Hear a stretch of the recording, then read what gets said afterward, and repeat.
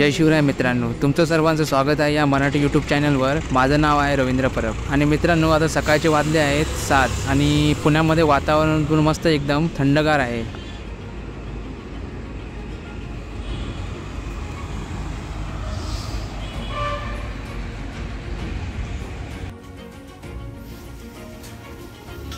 आणि आमची वहिनी आमच्यासाठी मस्तपैकी गरमागरम पोहे बनवत आहे. वहिनी पण सकाळी सकाळीच उठली आहे आमच्यासाठी. नाश्ता वगैरे करून झाला की आपण आपल्या प्रवासाला सुरुवात करूया.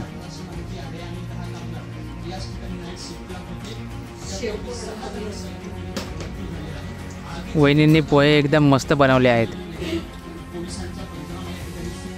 चला आता मित्रांनो आपण आपल्या आता प्रवासाला सुरुवात करूया. हा आहे माझा दादा आणि ही आहे वहिनी.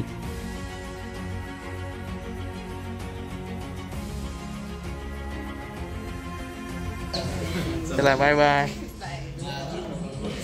चला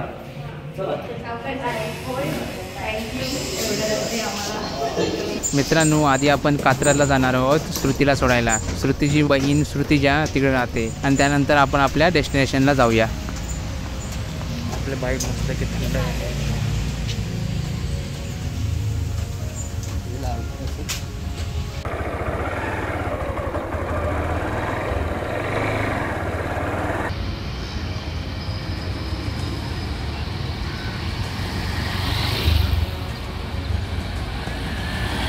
मित्रांनो तुम्हाला आज मी सुंदर अशा जागेवर घेऊन जाणार आहे. त्याचं नाव आहे राजीव गांधी झूलॉजिकल पार्क. आणि त्याला अजून झूलॉजिकल पार्क आणि कात्रज झू म्हणून पण ओळखले जाते. आणि झू पुणेमधील प्रसिद्ध झू आहे. आणि हे अराउंड एकोणीसशे नव्याण्णवपासून प्रसिद्ध आहे. आणि हे कात्रजला स्थित आहे. आणि झूला जाण्यासाठी तुम्हाला भरपूर ऑप्शन आहेत. बसने ऑटोने आणि कात्रज झूच्या आ- बाजूला बस स्टॉप आहे. आणि तुम्ही स्वतःचं खाजगी वाहन पण घेऊन जाऊ शकता. आणि मित्रांनो तुम्हाला काही पॉईंट सांगतो. जर तुम्ही प्लॅस्टिकची बॉटल घेऊन जात असाल तर तुम्हाला दहा रुपये डिपॉझिट करावे लागतील. नंतर तुम्ही रिटर्न आल्यावर तुम्ही ती बॉटल दाखवल्यावर तुम्हाला ते रिटर्न भेटतील. आणि मित्रांनो तुम्ही पिण्याची बॉटल नाही घेऊन गेला तरी चालेल कारण तिथे प्रत्येक ठिकाणी पिण्याचे पाणी भेटेल.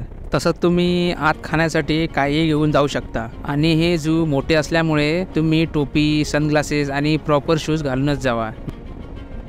मित्रांनो आता आम्ही श्रुतीजाच्या घराच्या इथं पोचलो आहे पण श्रुतीजा अजून काही आली नाही आहे तोपर्यंत आम्ही इथं वाट बघतोय. आणि हा बघा यांचा चाललाय टाइमपास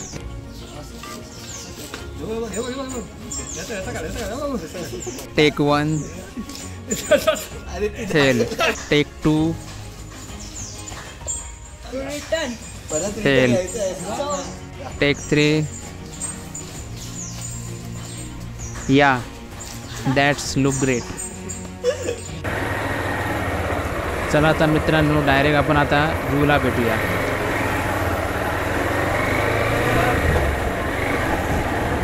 आपल्या आता आपण आलो आहे राजीव गांधी झूलॉजिकल नॅशनल पार्कला ठीक आहे चला.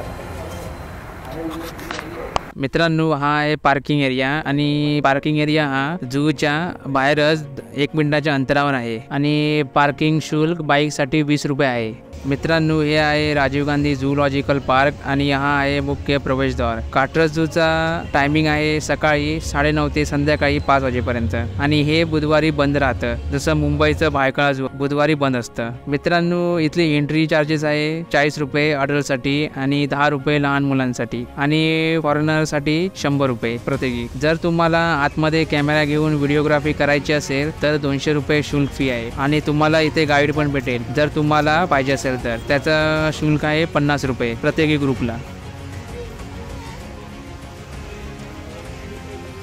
मित्रांनो आपल्याला हे समोर आहे डावीकडे आणि उजवीकडे जाण्यासाठी मार्ग दिसत आहे. जर तुम्ही डावीकडे गेला तर तुम्हाला बॅटरीवर चालणारी वाहनं दिसतील. ते पूर्ण तुम्हाला झू फिरवतील. जर तुम्ही फॅमिलीसोबत आला असेल तसंच ज्येष्ठ नागरिक किंवा लहान पोरं असतील तर इलेक्ट्रिक कारने तुम्ही पूर्ण झू फिरू शकता. आणि हे सकाळी दहाला चालू होते तर संध्याकाळी पाच वाजेपर्यंत शेवटची बस असते. मित्रांनो आपण एंट्री केल्यावर आपल्याला स्टार्टिंगलाच माकडं दिसतात. ही बघा कशी एकमेकांची वये काढत आहेत. अजून पुढे आल्यावर आपल्याला सापाचा स्टॅच्यू दिसतो. पर्यटकांनी सापांना दगड मारू नये याची सूचना दिली आहे. हा आहे बिनविषारी साप याचं नाव आहे धामन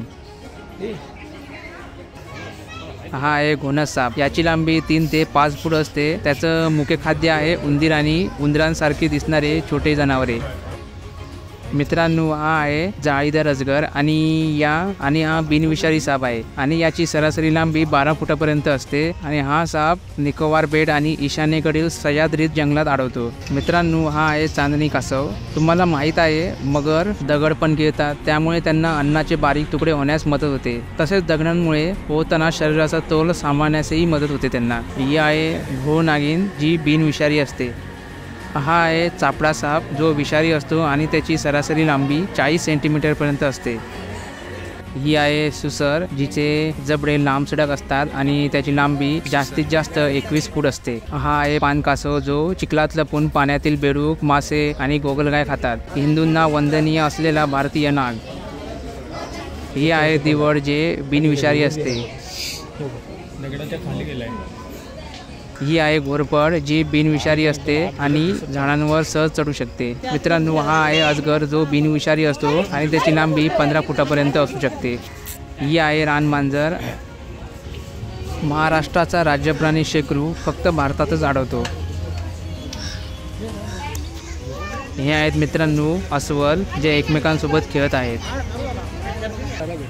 हे आहे चित्र मित्रांनो. हे आहे सांबर.